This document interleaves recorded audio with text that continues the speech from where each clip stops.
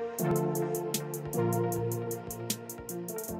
Tout d'abord, notre souhait, c'est de consolider les acquis réalisés et surtout de rendre de l'expérience marocaine en matière de BSG une référence au niveau régional et à l'échelle internationale. Et c'est pour cette raison que je pense que la nouvelle vision stratégique du Centre de l'excellence pour la BSG va permettre de contribuer au rayonnement de cette expérience et surtout d'introduire une nouvelle dynamique pour euh, implémenter la BSG au niveau des pratiques de programmation et de planification budgétaire des différents départements ministériels.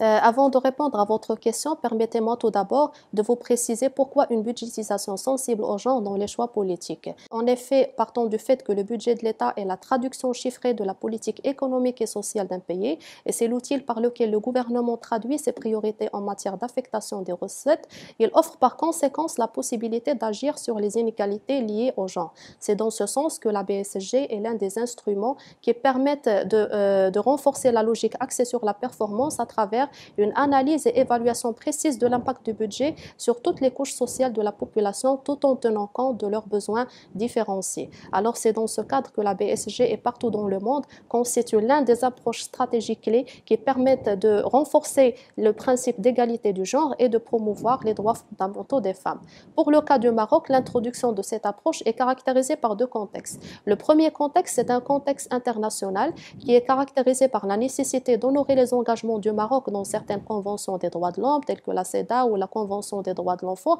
et également pour réaliser les objectifs de développement durable. Deuxième contexte, c'est le contexte national qui a été favorable à l'introduction de cette approche grâce à un ensemble de réformes et réalisations qu'a connu le Maroc durant ces dernières années qui ont permis de répondre de manière efficace aux objectifs de l'égalité.